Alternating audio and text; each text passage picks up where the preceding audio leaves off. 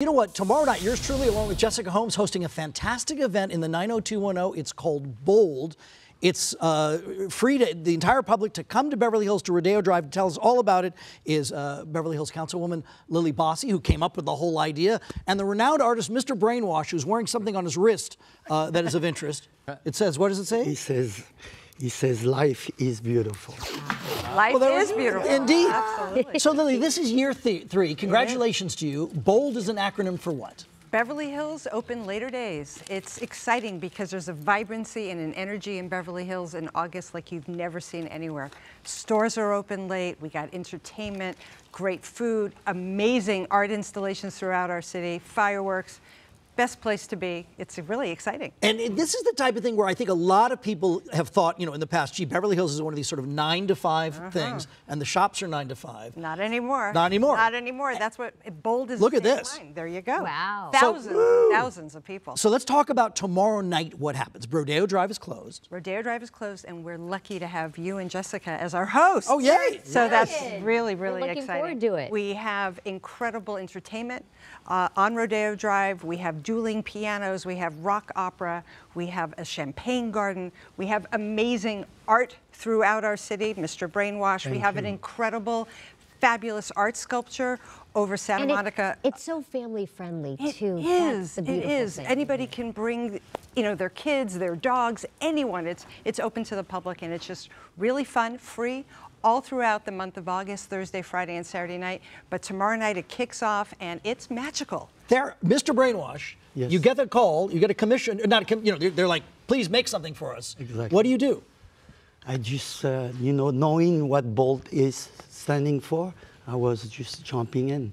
You know, it's everything that I love to do, you know, to bring colors, happiness, and uh, it's all about that. You know, it's to really extend a time to play, to did the, uh, enjoy. how did the name come about, Mr. Brainwash? Got to ask that. I don't know, you know, it's like uh, it just happened to me a long time ago in the 90s, and uh, it just came back, and uh, and I feel that it makes sense now because we all brainwash.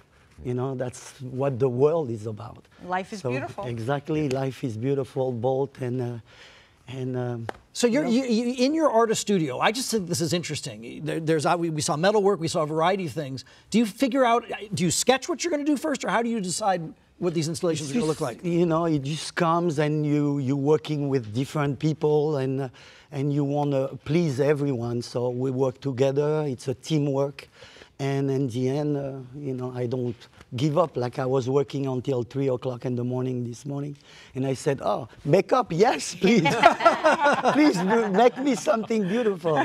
Lili, one thing I think is so interesting, it's a competitive world. The, the, the Grove, Century City, all these places. So is that what prompted you to, to say to the merchants in Beverly Hills, gee, we want to do something exciting too? Well, you know what? Beverly Hills has always been a very special, magical place. There's nowhere else like it in the world.